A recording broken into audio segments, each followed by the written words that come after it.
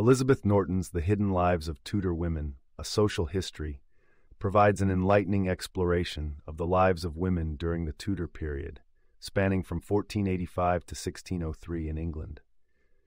In this detailed examination, Norton draws from a wealth of sources, including legal documents, letters, and personal accounts, to paint a vivid and comprehensive picture of the myriad roles and experiences of women during a dynamic and often tumultuous era in English history.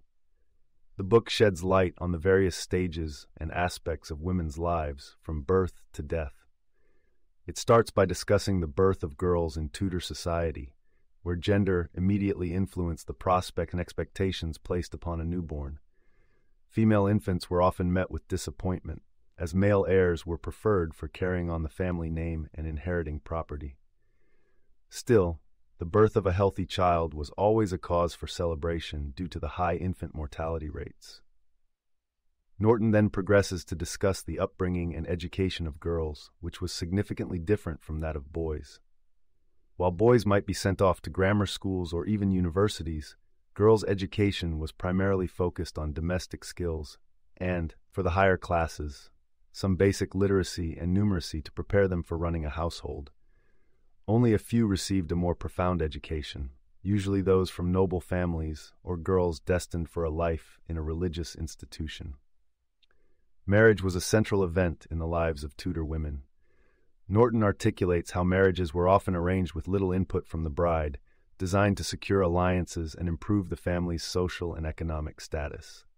Women were expected to be compliant and to serve their husbands faithfully, bear children, and manage the household. Norton does not shy away from discussing the more unpleasant aspects of marriage for women, such as lack of autonomy, the threat of domestic abuse, and the dangers presented by childbirth. In a time when religion played a crucial role, Tudor women were expected to be pious and virtuous. Norton explains the impact of the religious turmoil of the period, including the Reformation and England's break with the Catholic Church, on women's lives. Some women found new opportunities for religious expression, while others faced persecution for their beliefs. Monastic life, once a viable alternative for women seeking to avoid marriage or desiring a scholarly life, was largely swept away by Henry VIII's dissolution of the monasteries. The role of women as mothers and the impact of childbearing on their lives is examined in depth, with Norton describing the pressure on women to produce heirs and the high maternal mortality rates that made childbirth a risky endeavor. Child rearing was an important duty, as children were expected to contribute to the family's livelihood as soon as they were able. However, the emotional aspects of motherhood, often omitted from historical records, are given due attention, with Norton using available sources to highlight the joys and sorrows that accompanied motherhood during the Tudor era. The book also delves into the world of work for women, from those of the lower classes who engaged in labor out of necessity to the noble women who managed vast estates. Women could be found working in various trades, in service, or running their own businesses. They were integral to the economy despite legal and societal restrictions that limited their independence and financial control. Widowhood is another critical aspect discussed. Norton portrays how widows occupied a unique social status in Tudor England, often gaining greater autonomy and financial control than married or single women. Some widows chose to remarry, but others relished their newfound independence, running their businesses or administering their late husband's estates. However, widowhood could also mean vulnerability and struggle, especially for those without financial resources.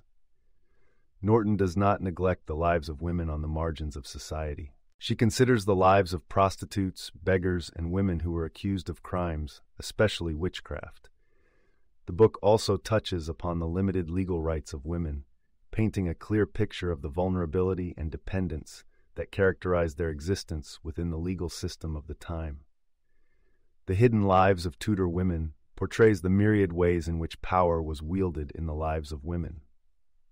From the overt power of queens and noblewomen to the more subtle forms of agency practiced by ordinary women in their daily lives and relationships, Norton examines the delicate interplay between gender, class, and power.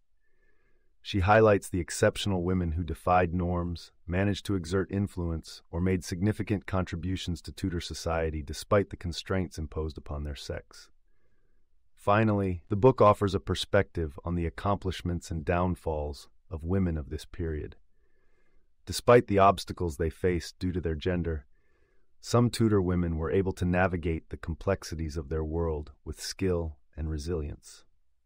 Norton's history spotlights the ways in which these women, whether famous or ordinary, shaped and were shaped by the times in which they lived. Throughout the social history presented, Elizabeth Norton succeeds in illuminating the diversity of experiences of Tudor women. She provides readers with richly textured insights into their daily realities, emphasizing the contrast between the expectations placed upon women and their individual lived experiences.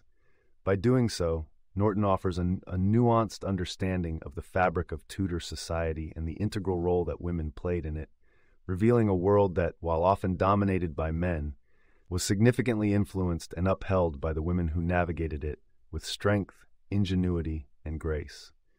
You can listen to the full audiobook for free by following the URL in the description.